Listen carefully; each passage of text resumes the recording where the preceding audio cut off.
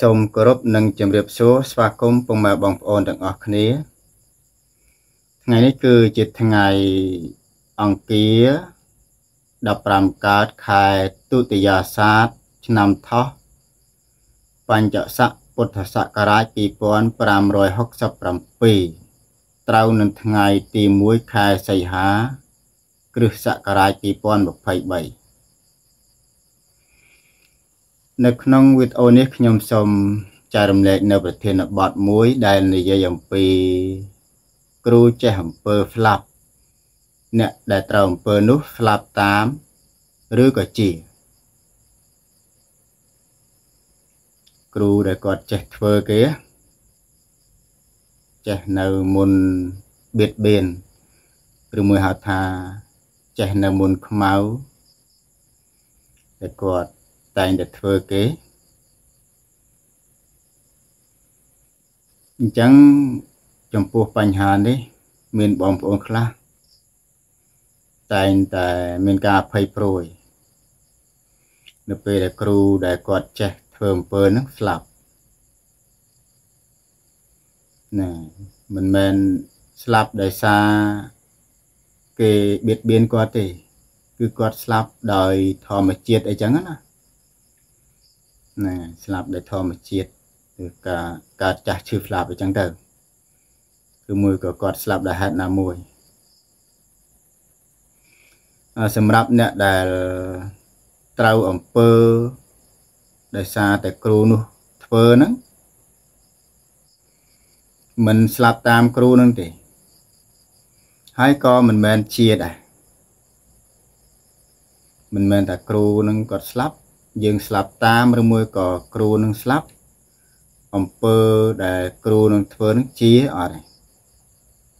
បានន័យថាមិនស្លាប់តាមហើយក៏មិនជាតាមដែរក៏ប៉ុន្តែបើសិនជាយើងឈឺដោយសារតែត្រូវអំពើគ្រូនោះ យើងមិនបានព្យាបាល អាចនឹងស្លាប់ដែរណាมันអាចជាបានទេណាលុះត្រាតែបងប្អូនព្យាបាលទៅជាហើយសម្រាប់អំពើដែលគ្រូធ្វើនឹងស្លាប់ទៅ ចំពោះការព្យាបាលហ្នឹងងាយស្រួលណាមិនពិបាកទេព្យាបាលជាតែម្ដង មិនពិបាកដោយគ្រូនៅរស់ហ្នឹងហើយមិនពិបាកយ៉ាងម៉េចដោយសារតែគាត់ស្លាប់បាត់ទៅហើយដល់ពេលគ្រូព្យាបាលទៅជាស្រួលបើសិនជាអ្នកធ្វើនោះគ្រូធ្វើនោះគាត់នៅរស់ហើយយើងស្វះស្វែងរកគ្រូព្យាបាលបើសិនជាគ្រូនឹងមិនមិនតាម បានន័យថាមិនមិនធ្វើថែមអាហ្នឹងមិនអីទេយើងព្យាបាលទៅជាស្រួលហើយក៏ប៉ុន្តែបើសិនជាគ្រូនឹងតាមយើងទៀតយើងទៅព្យាបាលជាឬមួយក៏ធូគ្រូនឹងដឹងថាយើងទៅព្យាបាលថែមទៅទៀតម្ល៉េះពិបាកក្នុងការជាបើសិនជាគ្រូនឹងនៅរស់ហ្នឹងហើយ តែបើស្លាប់អត់មានអីតតាំងទៀតទេគ្រូនឹងស្លាប់បាត់ហើយ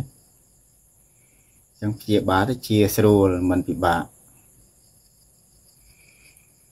ហើយមួយទៀតសម្រាប់បងប្អូនដែលប្រើប្រាស់ដូចជាខ្សែចកេះឬមួយក៏យន់សម្រាប់គ្រូដែលស្លាប់ហ្នឹងចំពោះគុណភាពមិនទៅតាមគ្រូនឹងទេ នៅតែមានអញ្ចឹងបើទោះបីជាគ្រូនឹងគាត់បាត់បង់ជីវិតក៏ដោយណាដូចជាខ្សែចកេះឬមួយក៏យន់ដែលយើងធ្លាប់យកមកប្រើប្រាស់កាលគាត់នៅរស់ណាដល់ពេលស្លាប់សម្រាប់របស់របរទៅនឹងក៏នៅតែមានប្រសិទ្ធភាពអញ្ចឹងពីព្រោះមុនគាថានៅក្នុងខ្សែកថានៅក្នុងយន់មិនស្លាប់ទៅតាមគ្រូនឹងបានអត់អីទេ បើយើងនៅគោរពគាត់ស្រឡាញ់គាត់ក៏ចេះតែប្រើប្រាស់អញ្ចឹងទៅសម្រាប់ប្រើប្រាស់អញ្ចឹងទៅហើយបើសិនជាយើងមិនសូវទុកចិត្តអីយ៉ាងណាក៏យើងទុកលើហឹងឬមួយក៏ដោះទុកកន្លែងណាមួយទៅ យើងចង់ប្រើប្រាស់ផ្សេងក៏ទៅរកគ្រូផ្សេងអញ្ចឹងទៅនឹងជារឿងធម្មតាឬមួយក៏យើងទុកប្រើប្រាស់រហូតទៅក៏មិនជាទាស់ខុសដូចជាខ្សែយើងចេះតែនៅពាក់ទៅហ្នឹងហើយ ក៏មិនជាអីដែរណាហើយបើយើងថាចង់ប្រើប្រាស់គ្រូផ្សេងទៀតក៏យើងយកពាក់បន្ថែមអញ្ចឹងទៅលើបន្ថែមជាមួយគ្រូមុនអញ្ចឹងទៅកុំឲ្យថាគាត់បាត់ទៅហើយយើងលះបង់គាត់ចោលពីព្រោះគាត់នៅរស់យើងគោរពស្រឡាញ់ដល់ពេលគាត់ទៅបាត់យើងបោះបង់ចោលក៏ នឹងមិនជាអីទេតែគាត់ថាបើយើងនៅតែគោរពស្រឡាញ់ក៏យើងចិត្តតែប្រើប្រាស់របស់គាត់ទៅពីព្រោះនឹងសំប្រកបអានឹងសម្រាប់តែសំប្រកបណាតែបើមិនសមទេក៏យើងគិតតាមនឹងតើបាទអញ្ចឹងចំពោះសម្រាប់គ្រូមុនគុំដែលគាត់ចេះធ្វើអំពើ បៀតបៀនឲ្យអ្នកដតីឈឺហ្នឹងបើគាត់ស្លាប់យើងអ្នកត្រូវអំពើដែលសារគ្រូហ្នឹងមិនស្លាប់ទេមិនស្លាប់តាមទេហ្នឹងហើយមិនដឹងគ្រូនឹងស្លាប់ថ្ងៃហ្នឹងយើងស្លាប់ថ្ងៃហ្នឹងដែរអត់ទេតែបើយើងអត់ព្យាបាលជាយូរទៅឈឺរ៉ាំរ៉ៃរ៉ាំរ៉ៃស្លាប់ដែរនឹងឬមួយក៏ថាជាឯងក៏មិនជាឯងដែរលុះត្រាតែយើងព្យាបាលឲ្យជាទើបជា បើមិនព្យាបាលវាមិនអាចជាទេហ្នឹងហើយគ្រូនឹងស្លាប់ទៅស្រាប់តែយើងជាឯងគ្រូនឹងស្លាប់ទៅស្រាប់តែយើងស្លាប់ទៅតាមអត់ទេ